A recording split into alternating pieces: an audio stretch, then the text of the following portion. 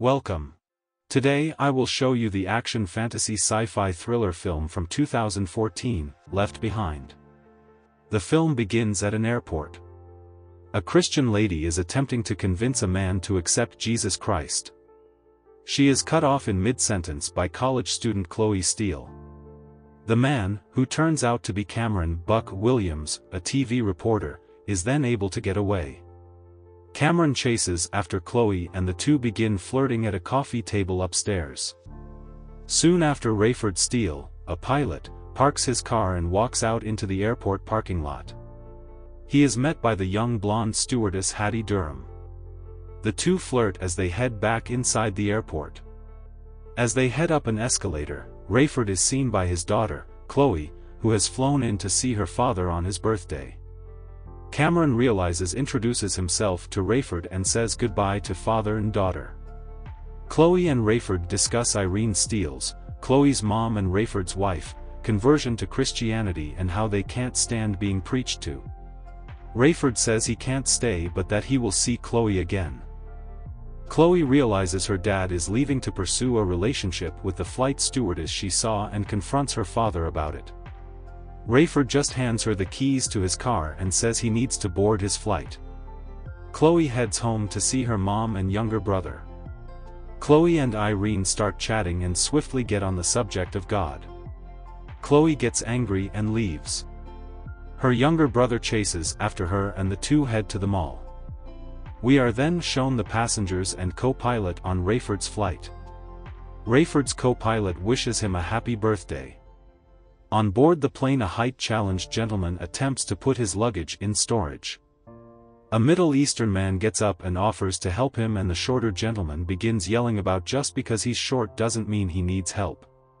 Two men in the back discuss the recent invention of a plane that can fly from New York to London in five minutes.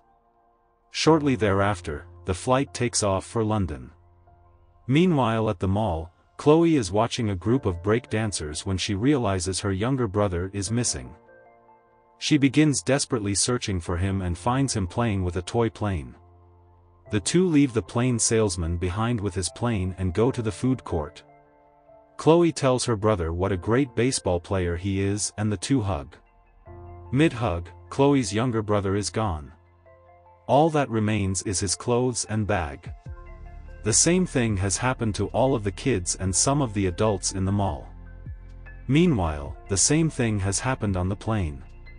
All the kids are gone and some adults including the co-pilot. The horrified passengers begin screaming and a group of three men rush the pilot's room. Cameron, who has been on board the flight, gets up and holds them off. To get everyone to sit down, Rayford turns up the pressure in the cabin and the oxygen masks drop down. Rayford tells everyone to buckle up and put on their oxygen masks. He attempts to radio for help and is unable to reach anyone. The cell phones aren't working either. Meanwhile, Chloe is still searching for her brother. A car with no driver crashes through the front window. Looters steal someone's money. Chloe gets out into the parking lot where hordes of terrified people are running seeking those who were lost. Cars keep crashing. A one-man plane crashes into Rayford's car just as Chloe is about to get in. Chloe runs down the street and two robbers steal her brother's bag. A school bus crashes off the bridge above Chloe. Chloe runs down to help and realizes that the bus is empty.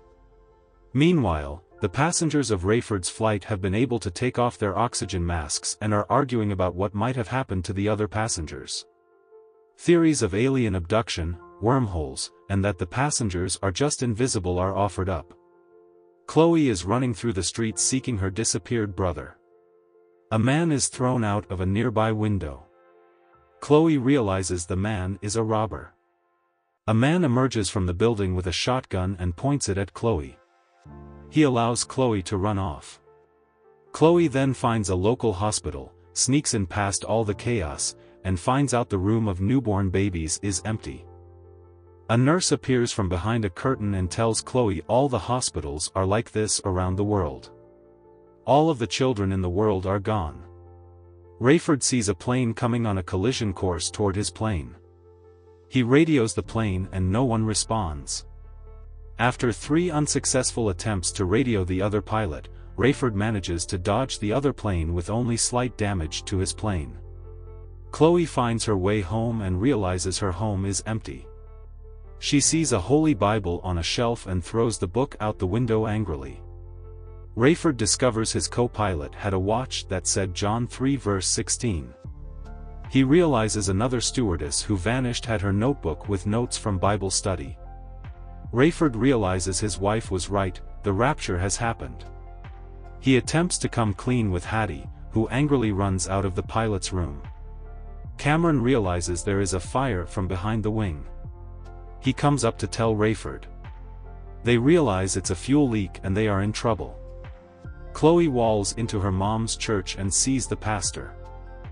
The pastor tells Chloe it's the rapture and that he's stuck on earth because he knew the words but didn't believe any of them.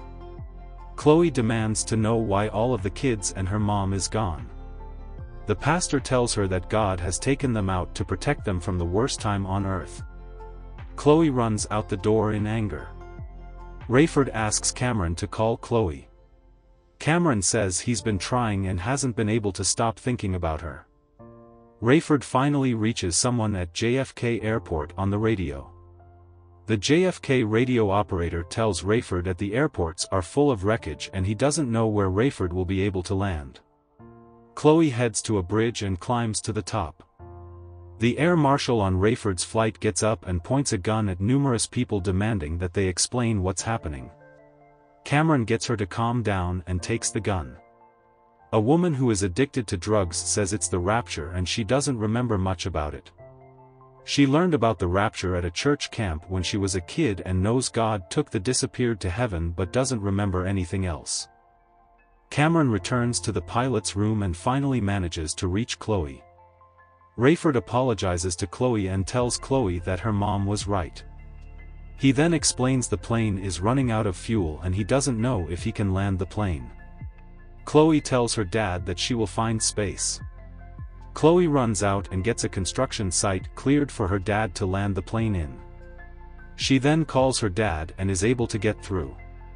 Rayford tells Chloe he needs a light to find the landing site. Chloe starts a huge fire. Rayford is able to find the field and land the plane. The passengers come off the plane and one says that the worst is behind them. Chloe says that the troubles have just begun. The film ends as Rayford holds Chloe and Cameron stands nearby. Thank you for watching.